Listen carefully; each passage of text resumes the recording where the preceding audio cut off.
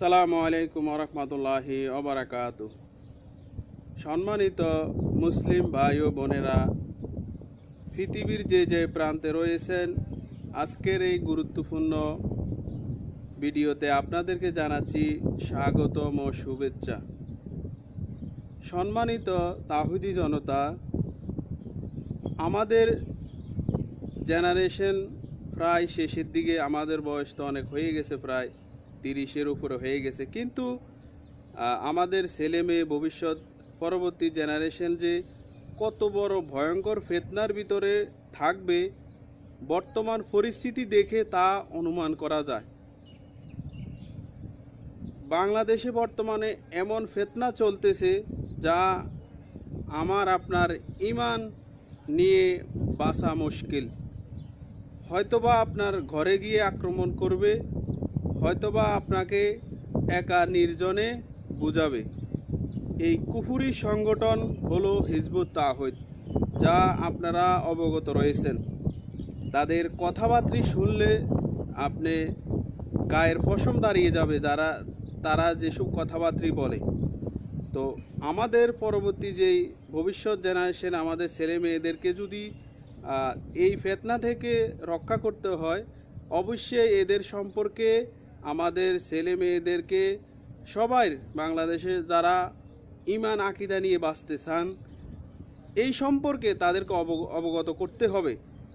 বর্তমানে যেই পরিস্থিতি দেখতেছি হিজবুত তাহিদের আসুন এরকম একটা জঘন্যতম মিথ্যাচার রাসুল সাল্লাহ সাল্লামের উপরে এই হোসেন মোহাম্মদ সেলিম কীভাবে দিতেছে?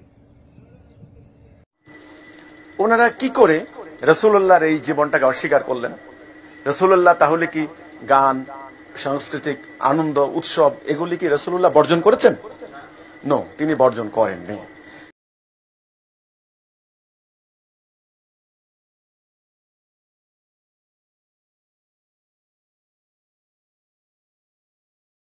রসুল্লাহর পুরো জীবন যদি আপনি এক দৃষ্টিতে দেখেন, আপনি দেখবেন না তিনি গান নিয়ে পড়ে আছেন। আপনি দেখবেন না তিনি নাটক নিয়ে পড়ে আছেন। তিনি সাংস্কৃতিক অঙ্গনের লোক। আপনি দেখবেন না। তার মানে এই নয় যে তিনি শুনেননি।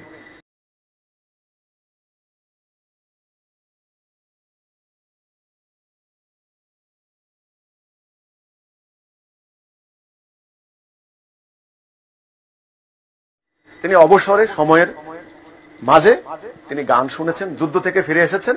মেয়েরা বলতো, ইয়া রাসূলুল্লাহ, আমরা নিয়ত করেছি। আপনি যদি বিজয়ী হন, আল্লাহ আপনাকে বিজয়ী করে আনেন। আমরা আপনাকে গান গেয়ে শোনাবো। তখন রসুল বললেন ঠিক আছে বাঁধাও শোনাও। মক্কা থেকে যখন মদিনায় আসলেন ইজ্জত করে, তখন গান গেয়ে গেও শোনানো হলো। গানকে, এই মানুষের এই যে প্রতিভাকে ইসলাম অস্বীকার করে।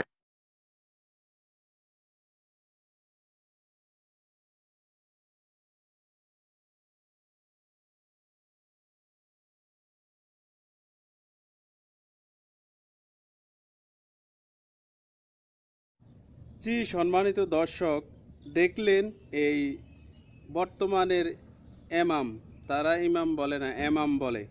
এই হোসেন মোহাম্মদ সেলিম।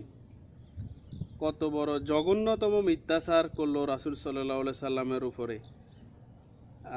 রাসুল সাল্লাহ সাল্লাম সাংস্কৃতিক অঙ্গনের লোক ছিলেন।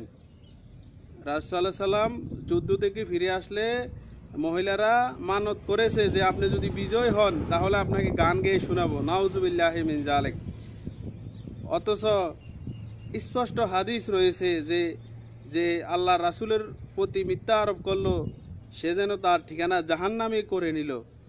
আর সে ইমানদার দাবি করে, মুসলিম দাবি করে, আজকে রাসুল সাল্লাহ সাল্লামের প্রতি এরম মিথ্যা আরোপ করেছে।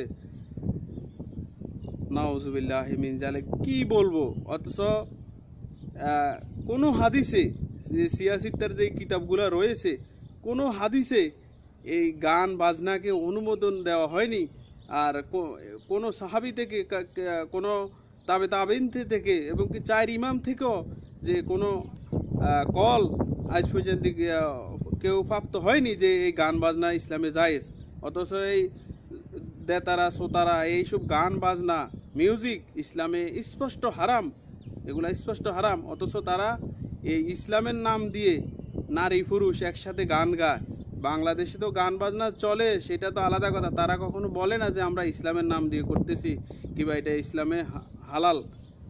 তারা করতেছে, তাদের ধান্দা করতেছে তারা। কিন্তু আর এই কুলাঙ্গার, এই হিজবুত তাহিদের হোসেন মোহাম্মদ সেলিম ইসলামের নাম দিয়ে আজকে মানুষদেরকে বলতেছে রাসুসাল্লাহ সাল্লাম গান শুনতেন মেয়েদের সামনে।